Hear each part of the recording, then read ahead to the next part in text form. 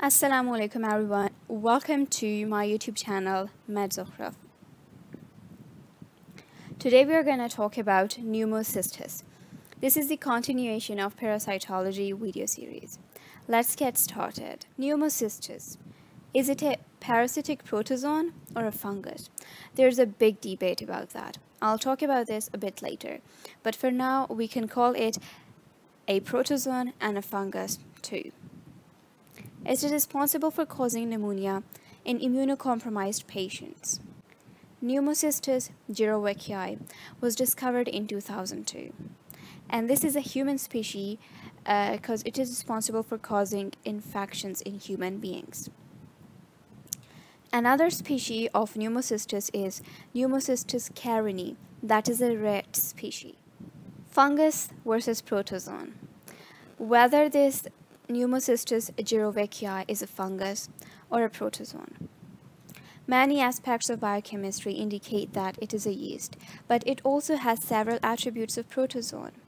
An analysis of ribosomal RNA sequences indicates that pneumocystis should be classified as fungus related to yeast as Saccharomyces cerevisiae.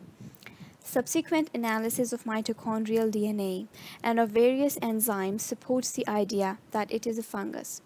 However, it does not have ergosterol in its membrane as do the fungi. It has cholesterol.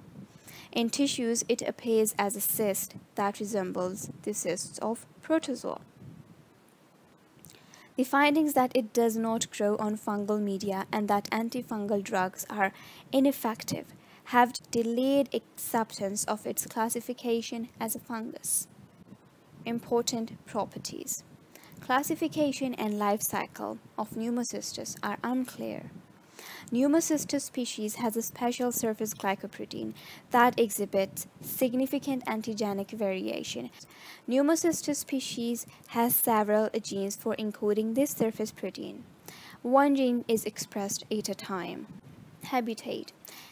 Each mammalian species has its own species of pneumocystis. As we've discussed in the first slide, that for humans it is Pneumocystis jirovecii and for rats as rat is also a mammal the species is Pneumocystis carinii. Transmission occurs via inhalation. Pathogenesis. Infection occurs predominantly in lungs. The presence of cysts in the alveoli induces an inflammatory response consisting primarily of plasma cells resulting in frothy exudate that blocks oxygen exchange. Let me take you to the inflammatory response. As the cysts are present in lungs, these will induce that inflammatory response.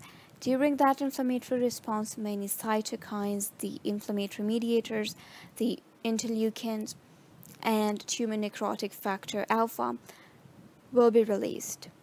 They will get into the bloodstream. They will cause increased vascular permeability. When there will be increased vascular permeability, fluid will leak out of the capillaries, the capillaries that surrounds the alveoli. When this fluid will be leaked out, this fluid will start compressing the alveoli.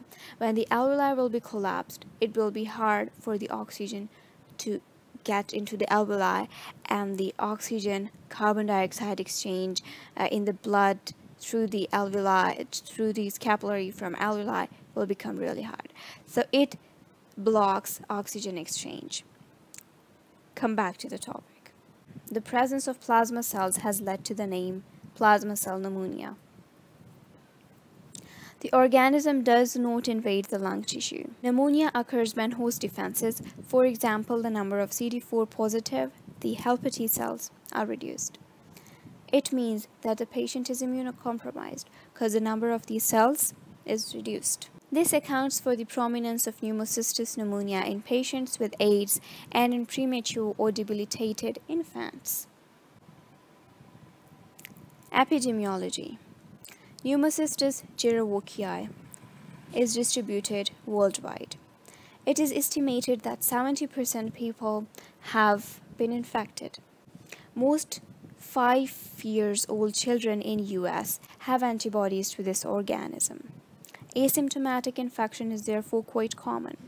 Prior to the advent of immunosuppressive therapy, pneumocystis pneumonia was rarely seen in US. Hospital outbreaks do not occur, and patients of pneumocystis are not isolated. Its incidence has paralleled the increase in immunosuppression and rise in number of AIDS cases. Mortality rate of pneumocystis pneumonia approaches 100%. Clinical findings fever that has a sudden onset, non productive cough, dyspnea, tachypnea, bilateral rales, and rhonchi are heard.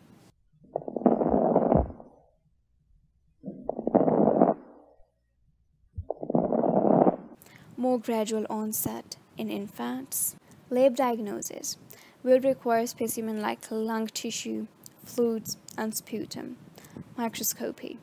Wet mount microscopy suitable. PCR based tests are done. No serologic test is done, and this organism has not been grown in culture. Treatment. Treatment of choice is the combination of trimethoprim and sulfamethoxazole, that is Bactrim or Septra, pentamidine, and atovaquone are alternative drugs.